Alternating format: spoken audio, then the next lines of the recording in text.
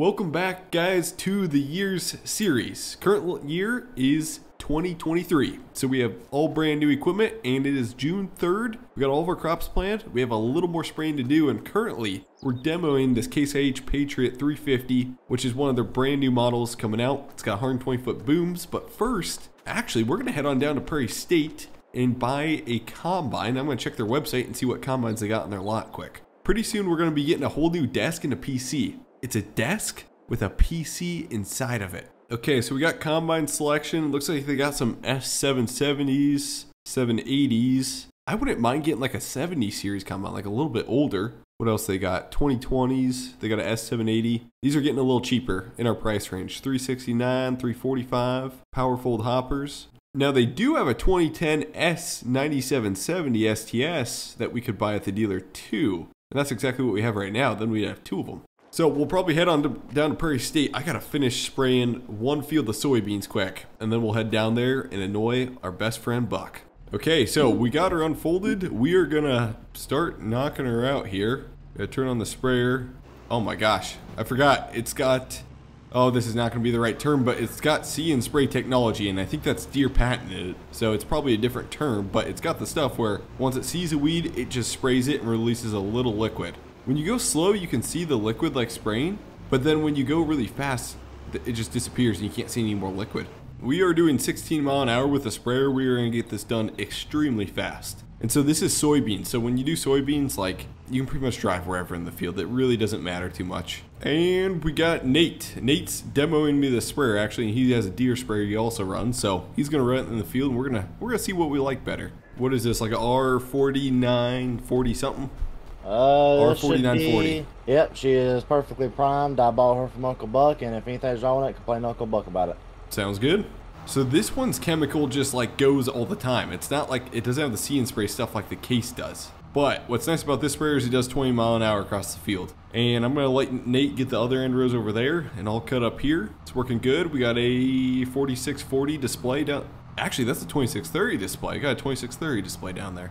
Nate, I'm just spraying on a diagonal pretty much, kind of this angle. We're spraying at like a 150 degree heading, so kind of like southeast-ish. Okay, we are done with that field already. And she's folded up. Okay, so it is now July 3rd, and you know what they say about July 4th, knee high by the 4th of July, and I think we beat that. Our corn has tasseled already. We're actually going to get kind of prepared for harvest here, and we may actually start harvesting this video. But we have a Case Magnum. Now, don't get me wrong. I love Case IH stuff, but I also love all my stuff to be color coordinated. We are going to sell the 8950. It's been a great tractor, like literally no problems with this thing, and I love this thing, but we need kind of some more money for a combine, so we're going to sell the 8950, and we're also going to sell the case planner because we now have two DB60s, we're totally fine. We can cover enough acres. This has honestly been one of my favorite tractors though, and it's going to be tough selling this thing, and I probably should just sell a new John Deere tractor, but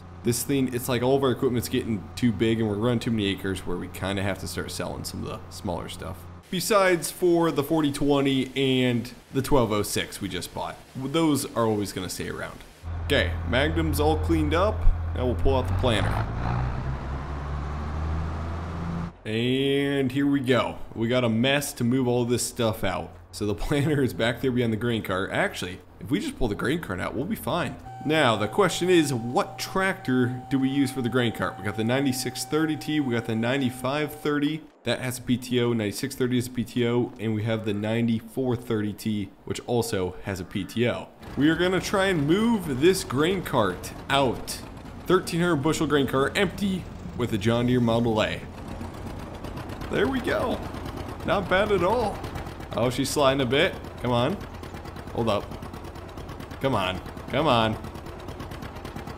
Okay, we got her going. I'm just gonna pull her out. The, the issue is it's tough turning. Once you get this thing sideways, it just doesn't go. Okay, we are gonna try and sell this thing at the John Deere dealership because I need trade in for a different combine. So hopefully I can get good trading value for this setup and then walk away out of here with a combine without putting too much money down. What is this sign they must have just put up along the roadway? Oh yeah, American Farming. Yo, you see that American Farming sign up the road? I know it's the best looking billboard out there. Yeah, you get in the game? What you, yeah, yeah, I definitely am. What you doing with that? Oh, uh, well, okay, hear me out. I gotta trade this in for a combine, okay? I want your combine, but I got case equipment that I gotta trade in. So I'm gonna try and trade this in with Buck. And I know, I know you're like, well, why don't you trade it in with me? We'll see what Buck offers and maybe I'll trade it in with you. You know, if Buck shoots me a, a bad offer, then you gotta come in and give me a good offer. Yeah, I don't think I'm gonna do that this time. You're gonna go trade in the case I, the beautiful case IH equipment that I pull strings to get you for a John Deere. I see. Move it. You're slow. Hey, hey, hey, hey, hey, hey, hey, hey, hey, Well, good morning, you two. How may I be of assistance to you today? I'm actually trying to be nicer now. I'm a very happy person. Brother, what are we doing? I'm here to buy a combine. Do you have any money? A little bit. I've got I've got that red thing. How much how much is a little bit right now without that red thing? Cause I don't want the red thing on my lot. Seventy-two thousand three hundred fifty-four dollars and sixty-nine cents.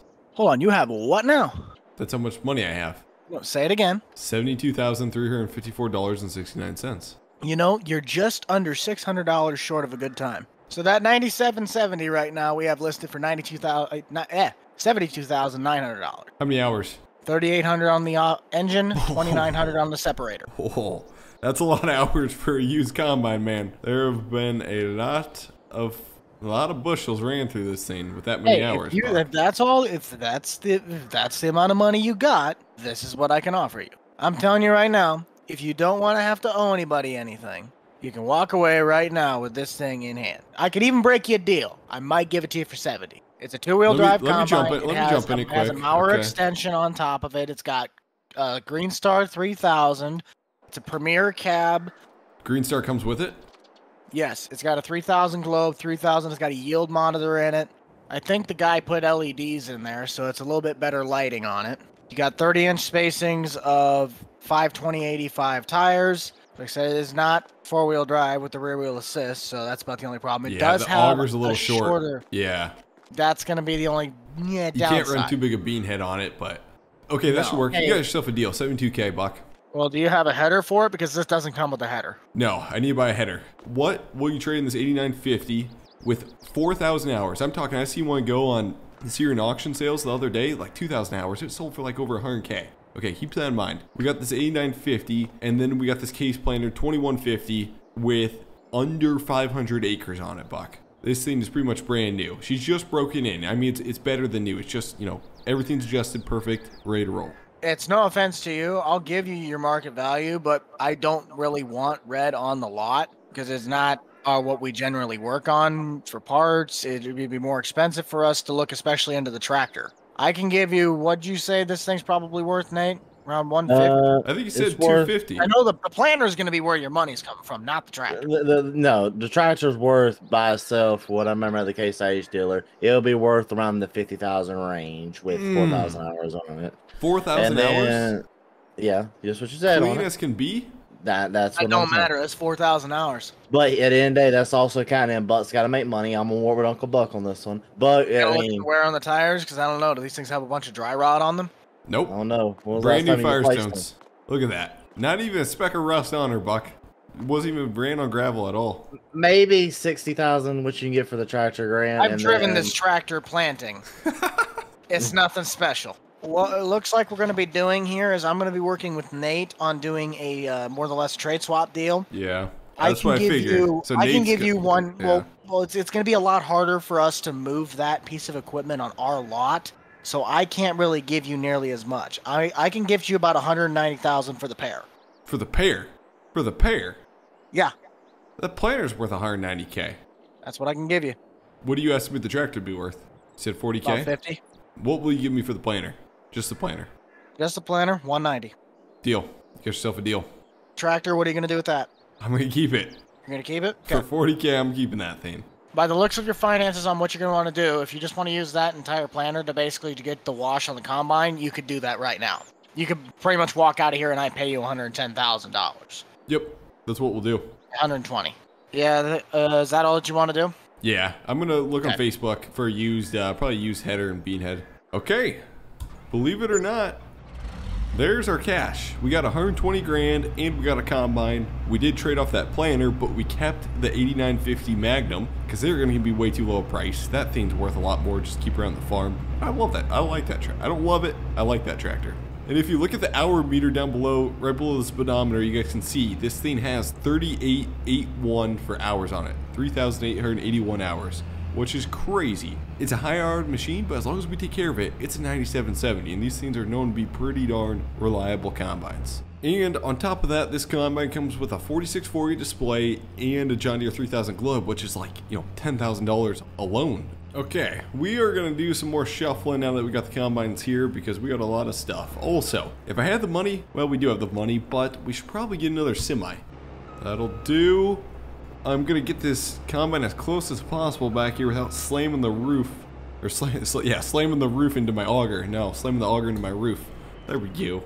Okay, so one thing we did is on Facebook, there's a local neighbor around here. I've, I've, I've known of the guy, but I haven't known him, if you know what I mean. Just knew of the guy, knew he farmed around here, but he had a 35 foot header on for sale on Facebook for 35 grand. It was a 35 foot um, bean head. It's just like a 635F. So pretty standard, not as nice as this. But we are going to run that on our second combine. So what I'm going to do is hook up to this combine. I really don't want to spend the money on a second header trailer. So we're just going to use the header trailer we have now and go pick up that bean head. Actually, never mind. We're to buy this Demco header trailer. This is to work good. I didn't know we had this even. Okay, we just picked up the 635F, which is an older head, but it'll work just fine. And then we have a Demco trailer that we bought for extra that was 7 grand. And then on top of that, I actually bought another Demco trailer that's like a 43 footer that's to be for our John Deere head, for the 45X head that we have now. Okay, so Buck's bringing the Magnum and the other header trailer. I actually bought the header trailer brand new from Deere, so he's bringing that on down. We're just going to park this here. We're going to park both headers outside for now. And there is Rental Man Buck pulling up. I gotta figure out, I got a better place to park some of these older tractors that we don't use as much. We're gonna park them in the shop back here. Come on, let me just snap a picture of you sitting in a case tractor and send it to Marty. I'm sure you will. Maybe I should have bought a bigger trailer. Son of a gun, she's gonna be hanging off a little bit. Okay, we are gonna get the 9430 connected to the Kinze. That is gonna be hooked up, and gosh, we're close to ready for harvest.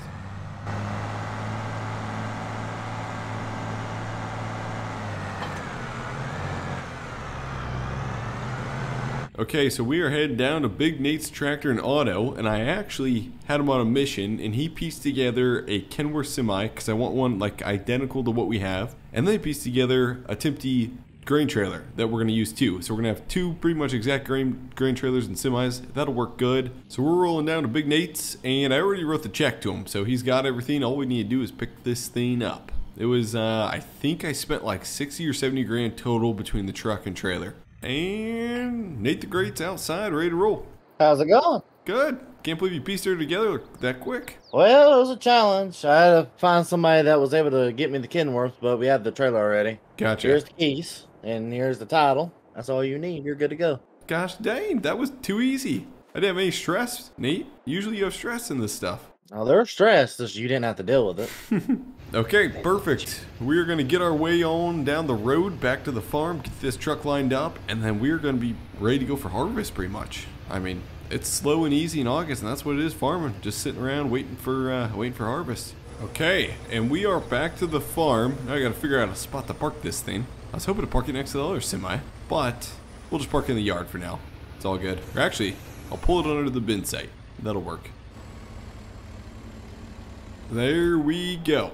Perfect. I mean, we are pretty much all set for harvest. So we're gonna, I think, start soybean harvest next video as long as the beans are ready come September, October-ish. But that's the plan for now. Thanks for watching this one, guys. And hey, we'll see you next one.